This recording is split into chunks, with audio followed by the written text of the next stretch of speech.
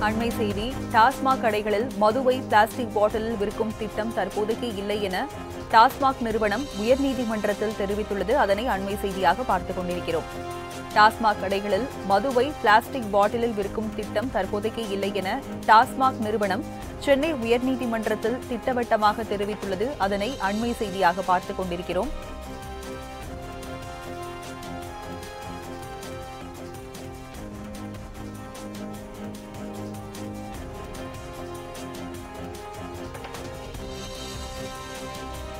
Plastic பாட்டிலில் மதுவை விற்கும் திட்டம் தற்போதைக்கு இல்லை என டாஸ்மாக் நிர்வாகம் சென்னை உயர்நீதிமன்றத்தில் தெரிவித்துள்ளது. டாஸ்மாக் கடைகளில் மதுவை பிளாஸ்டிக் பாட்டில்களில் விற்பனை செய்யும் திட்டம் தற்போதைக்கு இல்லை என சென்னை உயர்நீதிமன்றத்தில் டாஸ்மாக் நிறுவனம் திட்டவட்டமாக தெரிவித்துள்ளது. பிரதாப் என்பவர் தொடர்ந்த வழக்கில் டாஸ்மாக் நிறுவனம் சென்னை உயர்நீதிமன்றத்தில் பதில் மனுவானது தாக்கல் செய்யப்பட்டுள்ளது. அதனை அண்மை செய்தியாக பார்த்துக் கொண்டிருக்கிறோம்.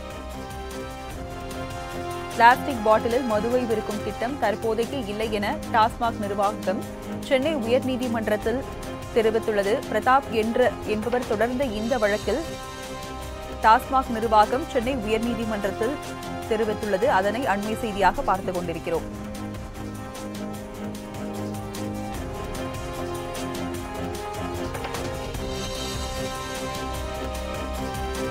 டாஸ்மாக் கடைகளில் மதுவை பிளாஸ்டிக் பாட்டில்களில் விற்பனை செய்யும் திட்டம் இல்லை என்று டாஸ்மாக் நிறுவனம் சென்னை உயர்நீதிமன்றத்தில் திட்டவட்டமாக தெரிவித்துள்ளது. பிரதாப் என்பவர் தொடர்ந்த வழக்கில் டாஸ்மாக் நிறுவனம் சென்னை உயர்நீதிமன்றத்தில் பதில் மனுவானது தாக்கல் செய்யப்பட்டுள்ளது. அதனை அண்மை செய்தியாக பார்த்துக் கொண்டிருக்கிறோம்.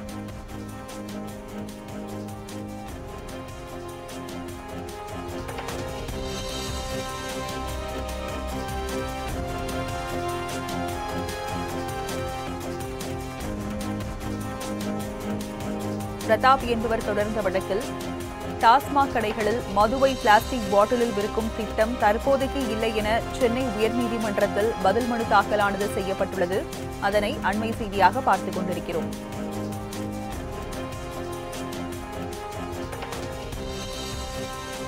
விவரங்களை செய்தியாளர் கிருஷ்ணா வழங்க கேட்கலாம். கிருஷ்ணா விவரங்களை பதிவு பண்ணுங்க.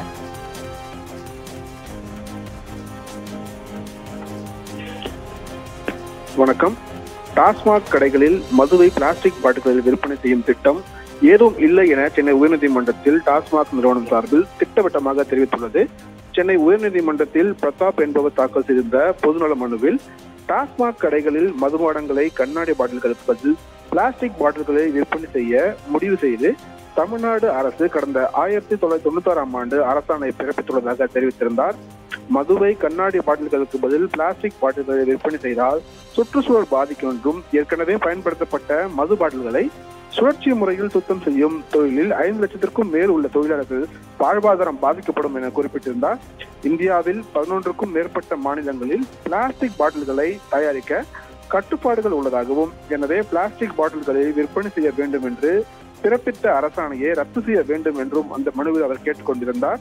இந்த வழக்கிற்கு டாஸ்மாக் நிர்வாகம் சார்பில் தாக்கல் செய்யப்பட்டிருந்த பதில் மனுவில் மதுவை பிளாஸ்டிக் பாட்டிலில் விற்பனை செய்வது என்றது தமிழ்நாடு அரசின் கொள்கை முடிவை எதிர்த்து மனுதாரர் வழக்கு தொடர முடியாது என்று தெரிவித்திருந்த டாஸ்மாக் நிறுவனம் அரசு நிறுவனம் என்பதால் அரசினுடைய வழிகாட்டுதல்படியே செயல்படும் என்றும் தெரிவித்துள்ளது. அதே வேளையில் தற்போது வரை மதுரை பிளாஸ்டிக் பாட்டில்களை விற்பனை செய்யும் திட்டம் எதுவும் இல்லை என்று தெரிவித்திருந்தது வழக்கு இந்த மீண்டும் நீதிபதி கிருஷ்ணகுமார் மற்றும் தமிழ்ச்செல்வி அடங்கிய அமர்வில் விசாரணைக்கு வந்தபோது தமிழக அரசின் மதுவிலக்குத்துறை சார்பில் தாக்கல் செய்யப்பட்ட பதில் மனுவில் ஏற்கனவே மது டாஸ்மாக் நிறுவனம் தாக்கல் செய்த பதில் மனுவை ஏற்றுக்கொள்வதாக தெரிவித்திருந்தது. மேலும் டாஸ்மாக் நிறுவனம் சார்பில் ஆஜரான வழக்கறிஞர் டாஸ்மாக் மதுபான கடைகளில் பிளாஸ்டிக் பாட்டில்களை பயன்படுத்தும் திட்டம் தற்போது வரை எதுவும் இல்லை என்று உறுதியளித்தார். இதை பதிவு செய்து கொண்ட நீதிபதிகள் வழக்கை முடித்து வைத்து உத்தரவிட்டுள்ள ராஜலட்சுமி. விவரங்களுக்கு நன்றி கிருஷ்ணா.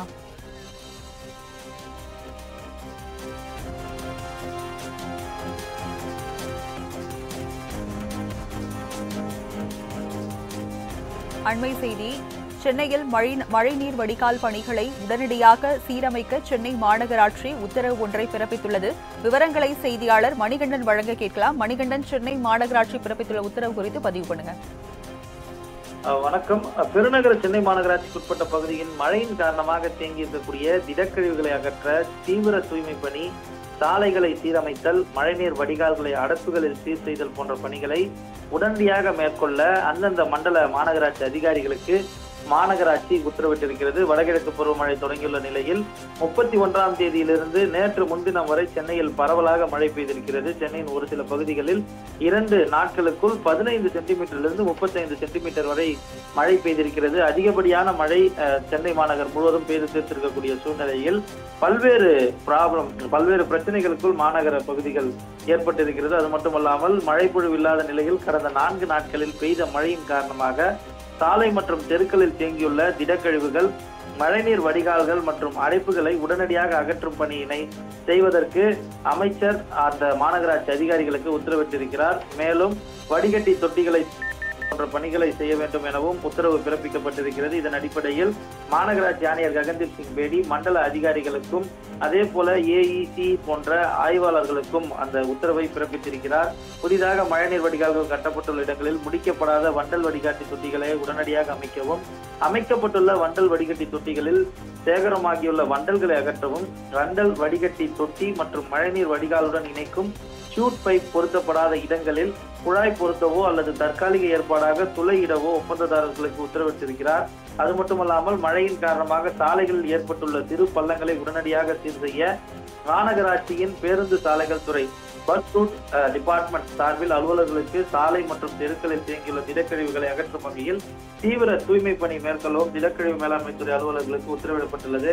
நடைபெற்று வந்த அஹ், வந்த மழைநீர் வடிகால் பணிகள் பருவமழை காரணமாக ஒரு சில இடங்களில் முடிக்கப்பெறாமல் நிறுத்தப்பட்ட நிலையில் மழைநீர் வடிகால் இணைப்புகளை உடனடியாக மேற்கொள்ளவும் இந்த உத்தரவில் விரிவான உத்தரவு அதிகாரிகளுக்கு பிறப்பிக்கப்பட்டிருக்கிறது. இந்த பணிகள் உத்தரவு பிறப்பிக்கப்பட்ட தற்போதிலிருந்து செயல்பட வேண்டும் என அதிகாரிகளுக்கு அறிவுறுத்தல் மேற்கொள்ளப்பட்டிருக்கிறது.